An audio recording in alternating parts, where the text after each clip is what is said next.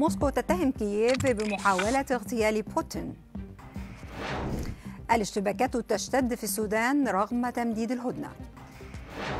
ومبلغ ضخم سيجلبه تتويج تشارلت لاقتصاد بريطانيا. هذه الأخبار وغيرها ننقلها لكم من قناة العربية فأهلا بكم.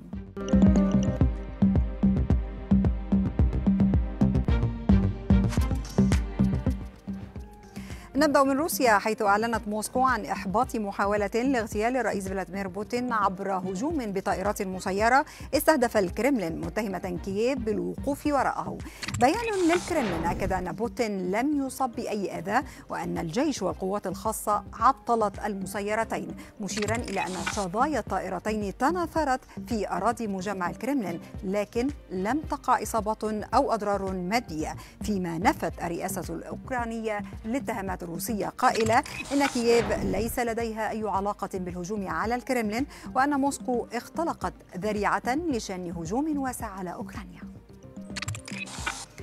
ومع إعلان روسيا إحباطها محاولة لاغتيال بوتين أطلقت كييف وبعض مناطق وسط وشرق أوكرانيا إنذارات جوية كما طلبت الرئاسة الأوكرانية المواطنين بالدخول إلى الملاجئ فورا خوفا من هجمات روسية. في المقابل طالب مجلس الدوما الروسي بضرب مركز صنع القرار في كييف على الفور لمحاولتها قتل بوتين على حد وصفه وسط دعوات أخرى إلى تنفيذ هجوم صاروخي على مقر إقامة الرئيس زيلينسكي كرد على ما حدث.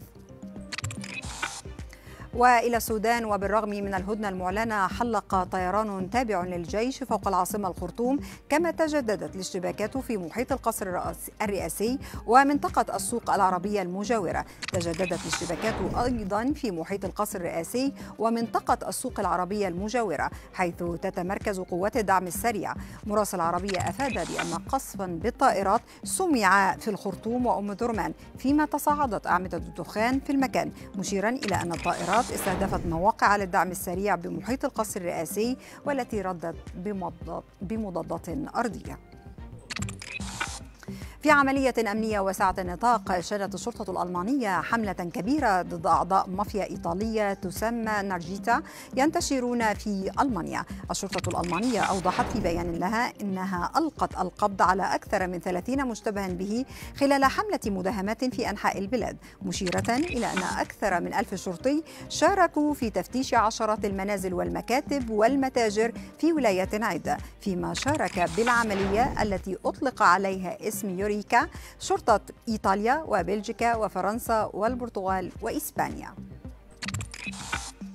وإلى الشغل الشاغل في بريطانيا حاليا وهو حفل تتويج الملك تشارلز الثالث ملكا للمملكة المتحدة الذي قال عنه قصر باكنغهام إنه سيكون أكثر الفاعليات التي شهدتها البلاد فخامة منذ أكثر من جيل. اللافت في تصريحات القصر مسؤول عن تنظيم حفل التتويج يقول إن ما سيحدث سيساهم في انتعاش اقتصاد البلاد وهو ما أوضحته تقارير صحفية أخرى وأكدت أن مراسم التتويج ستجني نحو مليار و250 مليون دولار كما سيشارك 7000 من أفراد القوات المسلحة وأكثر من 4000 فرقة موسيقية.